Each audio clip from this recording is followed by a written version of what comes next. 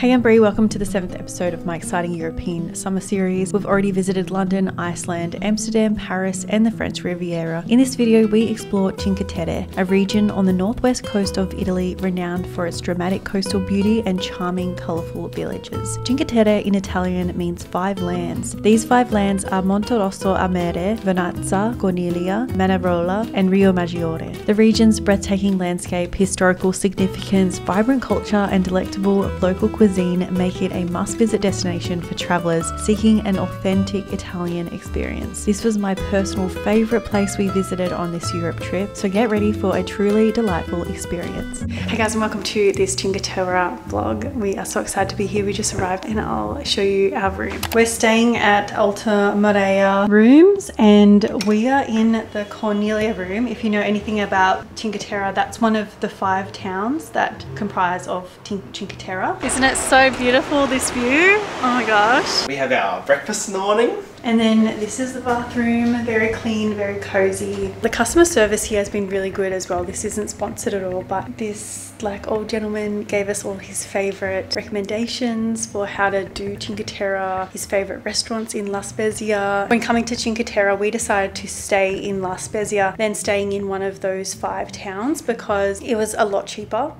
so if you're wanting a budget friendly option, then this potentially could be one of them. It's currently seven o'clock. We took the train train from Nice this morning to here, so we're pretty tired, pretty hungry. We might head to one of the five towns. We're thinking we might start at Manarola to see the sunset. Why not while the sun's still out? And the trains that go to Cinque Terre from La Spezia, they literally go all the way up until 12 a.m. The train ticket costs 5 euros each to get to Manarola. If you want to explore all the towns in one day, there is another ticket that you can get that is more cost efficient, which I will explain tomorrow. So we've just come to dinner to a place called Nessun Dorma. It was recommended to us by our host at our hotel and the food looks so good, but the view is even better. Like I'm sorry, that looks so freaking beautiful. the sun's just set and yeah, we're so hungry, we can't wait to eat.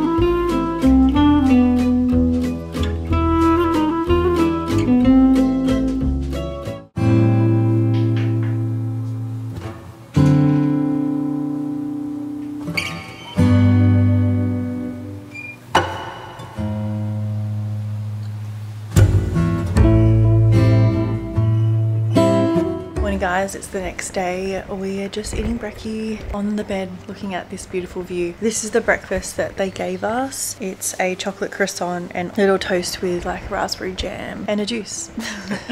Can't forget the juice. After we finish brekkie, we're going to head out and head to Cinque Terre. There's going to be a few hikes involved, which is exciting. We'll do some swimming, eating, chilling. It's gonna be a fun day. Last night was so incredible, so I'm excited to see what is in store today. Hey guys, so we just got to the train station and we've just bought our daily pass for Cinque Terre. They were 36 euro for two, and it gives us unlimited travel between the five different cities. Our host suggested to visit Monterosso a Mare as our first stop and then work our way down through the other towns. So that's what we did. Monterosso is the largest of the five towns and has the most amenities. Beach lovers should definitely stay here. You can rent chairs and umbrellas or even kayak to explore the many coves around the coast. Monterosso also has the largest selection of hotels and guest houses situated near the beach. There are hiking trails that connect the five different towns, so we decided to hike from Monterosso to Vernazza. So on the trails here you have to wear closed toe shoes like that. no flip flops.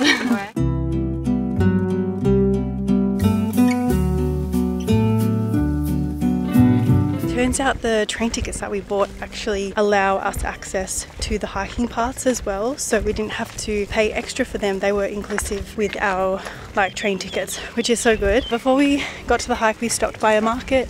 We bought some apples just to give us some energy because it's like an hour and a half walk. Enjoy the views. Online, the difficulty level says average, but I'm going to say it's like extremely difficult. If you have a look at what we had to climb up, all the stairs, the terrain was very rocky, very uneven. We did have to stop a few times, but in saying that, don't let that put you off from doing this hike because it was absolutely incredible. Like the views that we saw were just breathtaking. As mentioned, there are hikes between the five towns. Some are closed due to maintenance work, so definitely look that up before you go. You've got it, babe. Yeah, baby. Just don't fall off the cliff, Yeah. okay? Not to the edge, please. Cheers. so we've just stopped here to have a little break, eat our apples, and enjoy this incredible view. So stunning. So nice.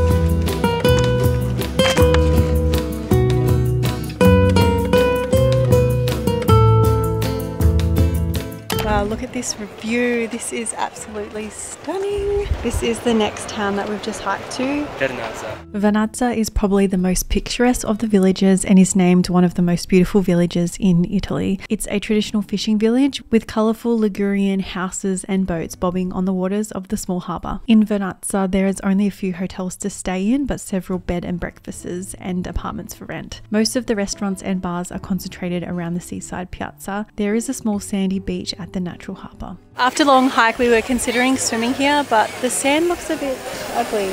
I don't know. Monterosso looked way better for beaches and swimming, so who knows? We might find another town or go back there for a swim.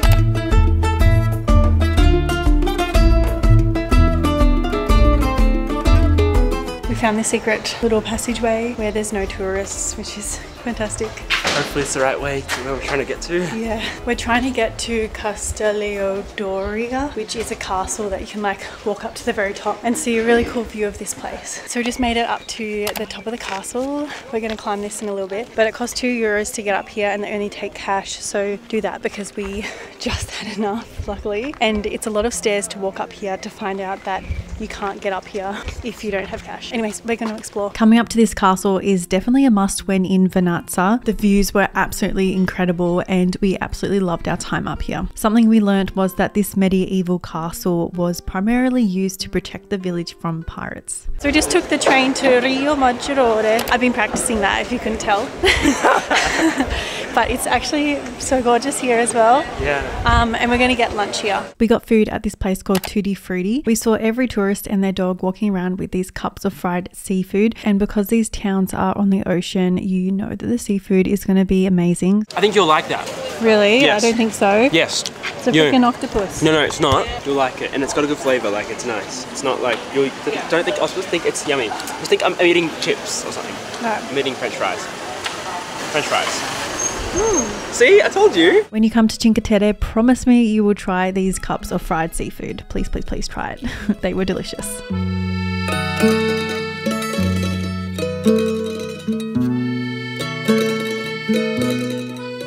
Riomaggiore is considered to be the most romantic of the Cinque Terre villages. It's ideal for young travelers and couples. It's also said to have the best sunset spot in Cinque Terre. And in the harbour, there are companies offering boat and kayak rentals as well as boat tours. E già da un po' sono in strada con il capo all'insù.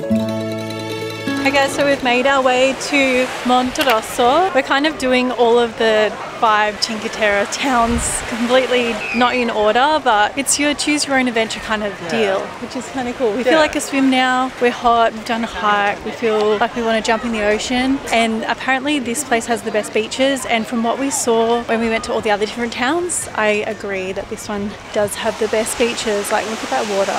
So freaking beautiful.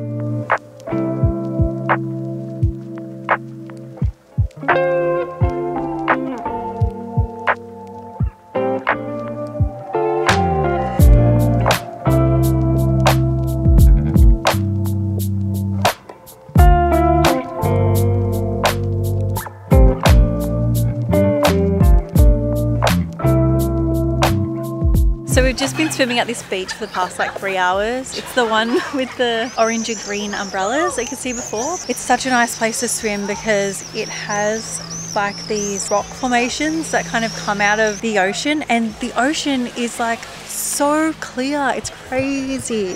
I really wish we had snorkels or something. They look good. I know, yeah. But um, it did cost to come to this beach, but it was definitely worth it, and a good like time to relax after like a big day hiking. I think if I can add, it's even worth it just to not be around like massive crowds. Like there's not that many people here, and it looks beautiful, so worth Yeah. the price, I think. Definitely. And I feel like I have less worry about people stealing our stuff as well. Yeah, true. We have just arrived at Corniglia, which is the last terre that we have not been been to. Apparently everyone hates this one, so let's see. Look at these freaking cute. Sorry, these freaking cute. I call them tricycle trucks. They're so little. We're gonna go on a quest to try and find some pizza here and fly the drone. We have a time limit of 20 minutes. Let's do this. Corniglia is the only village which is not built directly on the sea, but on a cliff 100 metres above sea level. It is the smallest of the five villages, and as I mentioned before, it is the least popular, but I personally actually really loved Corniglia. If you minus the 382 steps that you have to go up to reach the village, it's a 10 out of 10 for me. It is probably the most authentic town and the one with the least tourists. It's a great place to enjoy sunsets, and it has a very romantic atmosphere in the evenings. Yeah. So if you keep walking down all these steps, it does lead to the marina, which there's some people swimming and stuff, or like sitting on the rock. If you look there, there's a Braden flying a drone. Also, this is a great spot to watch the sunset. I don't know if you can even see it, but like this little terracey bit. We just walk down some stairs, and yeah, great place for the sunset.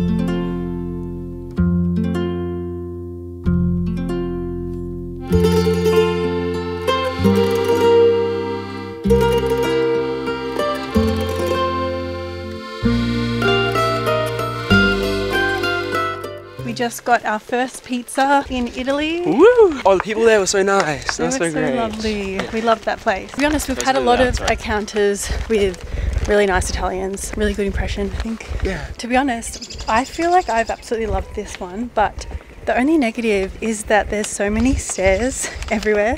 And the train station is like all the way down there. So it's going to take us like 15 20 minutes just to get back to the train station.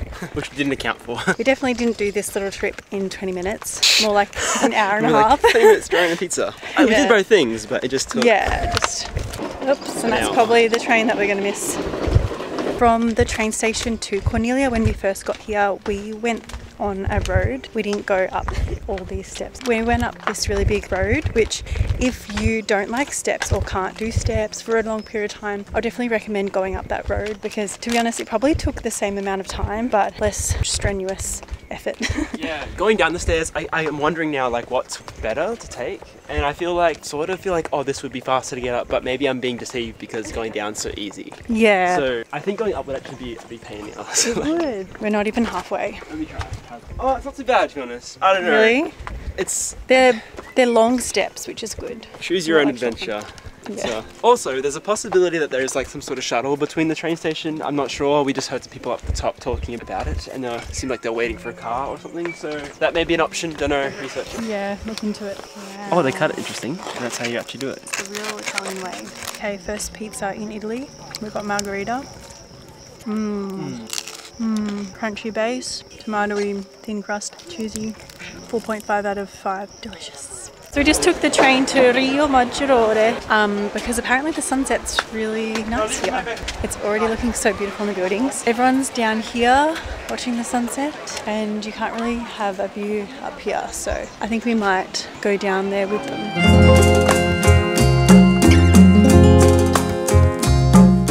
Morning guys, it's the next day, day three here. We just have the morning here until we head to our next destination. We've just packed up our bags and stuff, left them at our hotel. We're gonna head to Manarola because we went there on the first night and we loved it, but we didn't get to see it during the day. We only saw it when the sun set and stuff, and so we kind of wanna go there during the day and explore.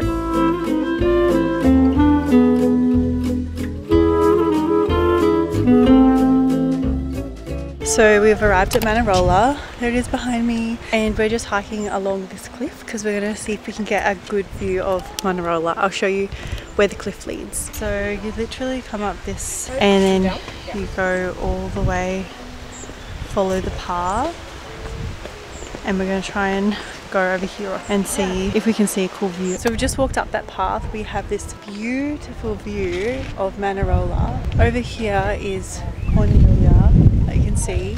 This is actually the path that leads to Corniglia. So if you wanted to hike between the two towns, you could do that. It doesn't look very far, to be honest. Yeah. It looks like a maybe fairly half an hour or so. yeah. Also, to this point, we haven't had to pay anything. So I think if we continued, we'd have to pay the fee to do the hike. But to get to this point, you don't have to pay. So if you're visiting Manarola, definitely come up here, have a hike. After our little hike and seeing those incredible views, we went into the town and got some brekkie. We both got these yogurt with berries and chocolate and also a focaccia. Manarola is one of the most famous villages of Cinque Terre. The village has a small harbour with a boat ramp, picturesque multicoloured houses facing the sea, and a tiny piazza with seafood restaurants. Manarola has some incredible viewing points, which we've shown you already, so definitely make sure you take a few photos here. So we've just climbed up this area and you definitely get a better view of Manarola, but it's like super crowded. Something cool to do here that I've seen people do is like cliff jumping. So yeah, I wish we bought our swimmers. Scivola, scivola, come la pioggia scivola, come un bambino rotola. Okay, so we've just come back to accommodation. We've picked up our bag and we're heading to our next destination, which is Florence, which I'm so excited about. I'm going to give you guys a one day itinerary if you're coming to Cinque Terre, what I recommend to do. And I think I've nailed it down to like a great itinerary. We have absolutely loved Cinque Terre.